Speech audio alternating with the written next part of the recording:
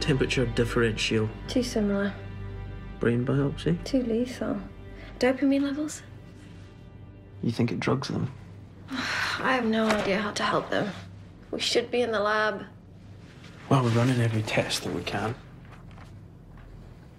One of these days we'll find something out in space that's magnificent, right? Not trying to infect us or kill us like Hive. What's Hive? Couldn't even get off a desert planet without us, so we'll sort out. I just want to help our friends.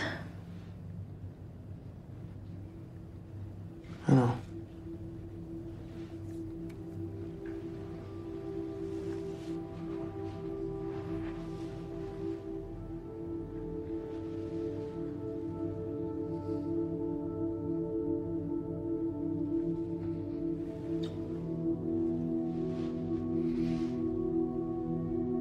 Sorry.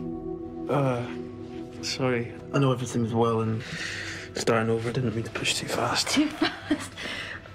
Fitz, it's been 10 years. We can't waste any more time. Really?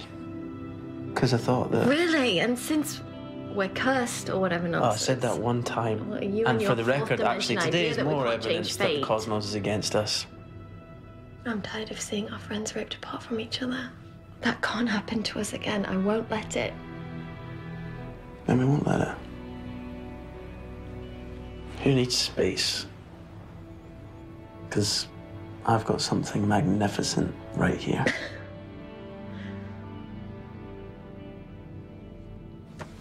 A picture of space.